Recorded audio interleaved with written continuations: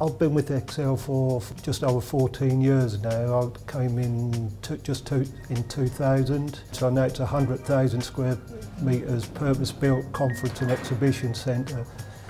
Um, we're growing year on year and this year we'll have 85 exhibitions, 250 conferences and just over 3.6 million visitors. Philips understood what we were looking for and understood our, our objectives. We built up a good relationship with the Philips team.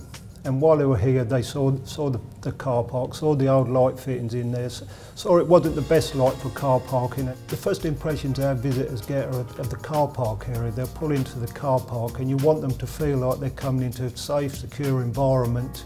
And the, the new car park lighting system with the even spread of light and the lights on wherever they are certainly makes them feel that way. Because we've got such a big car park with areas that are not in use at certain times for the odd day or two here and there, the green parking system generally, when, when there's no one in the area, reduces to 10% lighting levels.